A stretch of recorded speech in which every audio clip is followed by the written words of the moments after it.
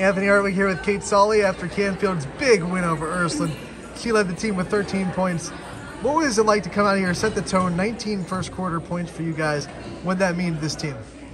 I mean, I'm really happy and proud of us. I think that like going in, we knew it was gonna be a really physical game, and I'm just happy like we were able to like come strong, off strong right at the start.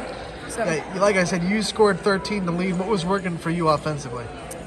um, I think for us offensively, like just like moving the ball, and like when I knew like I could like take a girl one on one, like I, I would take that opportunity or like just wait for the open shot, and that's what kind of what like let us like flow on offense. A lot of people watch this team, they think it's scoring, you know, a lot of shooters. But the defense tonight really locked down Ursuline. A lot of good scores on that team as well. What was the defensive mindset coming in today? I mean, I think our goal was to take away what they do well, and we all knew like they were all right-handed, so we wanted to take that away. And like they're big, um, like they're big. Um, what's her Martin or Elena or something? We just knew like we wanted to like take her away because she's one of their better players, and I think we did a good job of that, and that's what helped us to hold them to 18 points tonight. So. You have a big matchup coming up on Saturday against Stow. How does this start to the season give you momentum heading into that one?